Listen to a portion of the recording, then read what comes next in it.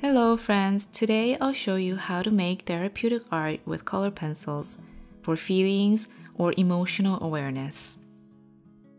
Before the art, first take a few deep breaths to ground yourself and set an intention for this art making time.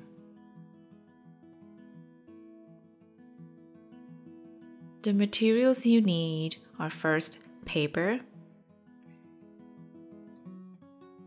and colored pencils.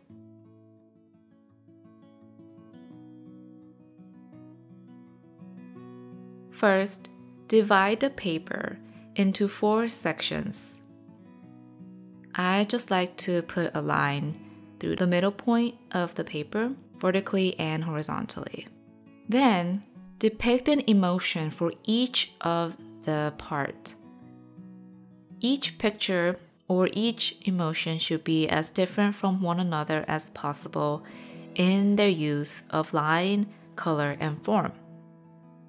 Some of the emotions that you could include are happiness, anxiety, sadness, and anger. Remember when you experience this particular emotion and try to re experience that feeling and create a distinctive image of it using colors and shapes and lines.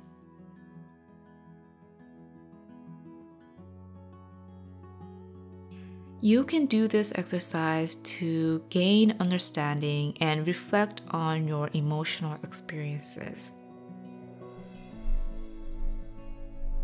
Using colors, shapes, and lines is a safe way to begin to identify and manage your emotions when what you are feeling is very complex or chaotic or confusing. I think that emotions can become a problem when we don't know how to deal with it. We might become overwhelmed or we might run away from the emotions with using things or people or events or situations, or we might not even express our emotions at all. The problem is that emotions are fundamental to our human experience.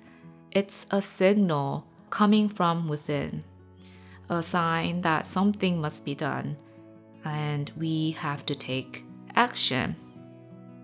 Because emotion is simply a signal, it comes and it goes when it has done its job. It's almost like a wave. Art helps us calmly experience the emotions and it lets us learn the lesson, learn the message that the emotion is carrying for us.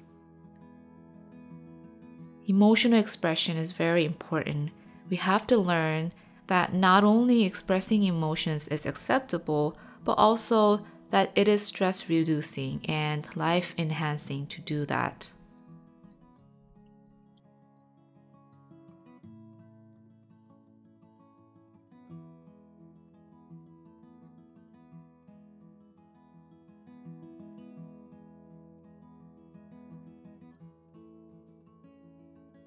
When you are done with the drawing, you can put away the materials and do a little bit of reflective writing. And answer these questions in a journal or a piece of paper. First question is How is each emotion different or similar to other emotions?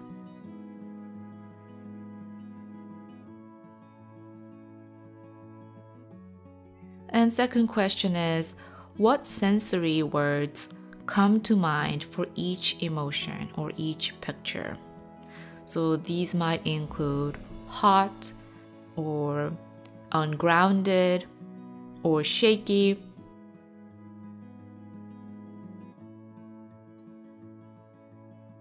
And one more bonus for you is if you could do another picture for some other feelings, what would they be? What feelings do you want to explore? And actually do that drawing. And if you want to, take it another level and do a painting of that emotion.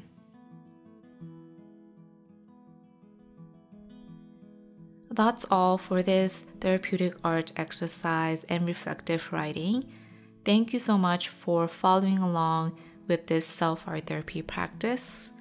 If you enjoyed this, please like this video, subscribe to the channel, and I'll see you next time.